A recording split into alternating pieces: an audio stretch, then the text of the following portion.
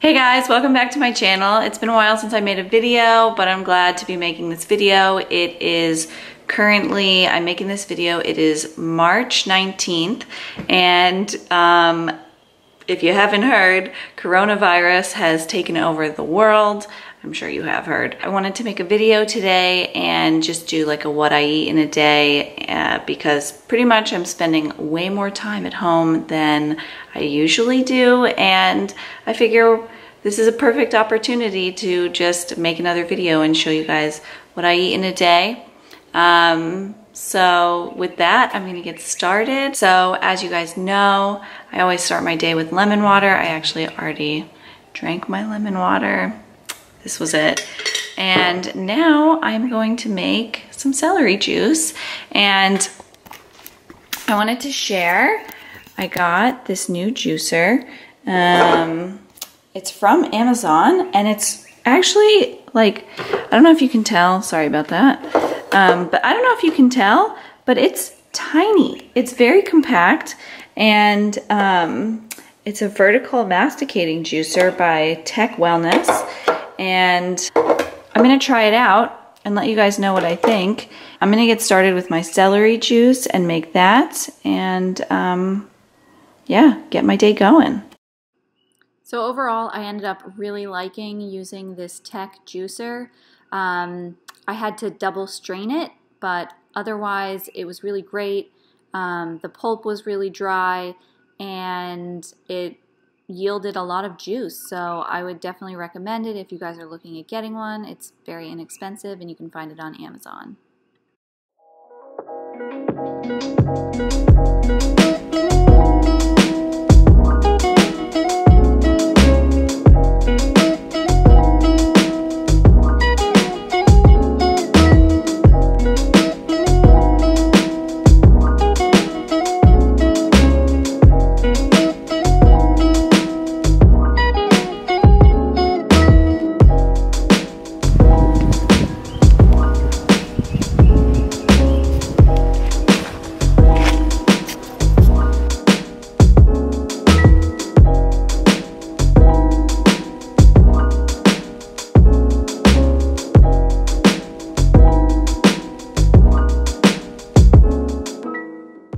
After my celery juice, I had breakfast, which was half of a papaya, one cup of wild blueberries, and some date syrup drizzled on top.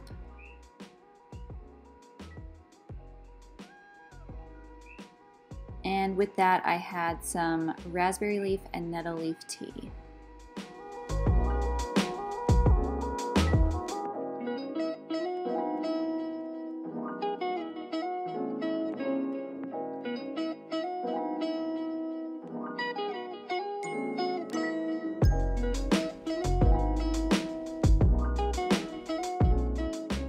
About an hour later, I had some lemon and honey water.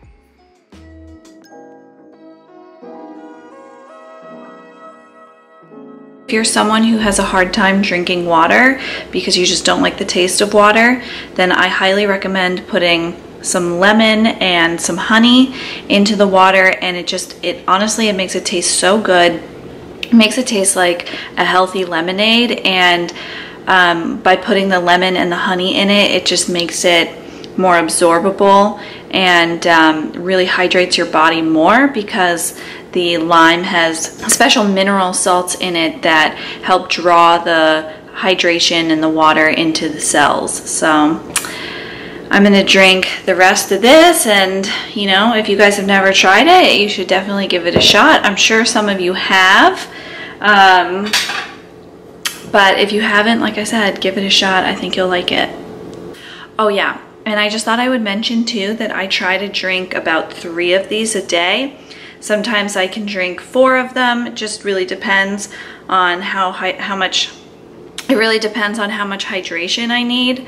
Um, but each of these is about 30, 32 ounces. So I end up drinking anywhere from like 90 to 120 ounces of water a day.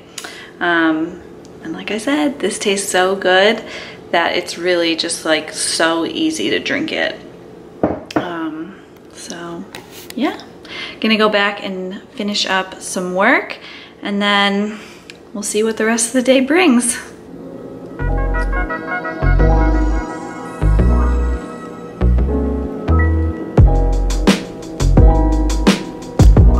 Okay, so my lunch is to seem really strange to some of you guys, but basically what it was was spirulina, barley grass juice powder, and chaga powder uh, mixed with some maple syrup and water to make a paste. And then what I like to do is I like to dip bananas and vegetables. Today I chose cucumber into it, and um, that's what I like to eat.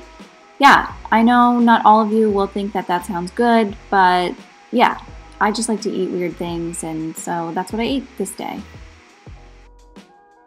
Oh yeah, and I'll also add the reason that I like to have vegetables with this is because by adding a vegetable to your fruit meals, it helps to slow down the rise in blood sugar and it also helps to stabilize it and keep your blood sugar uh, stable for longer.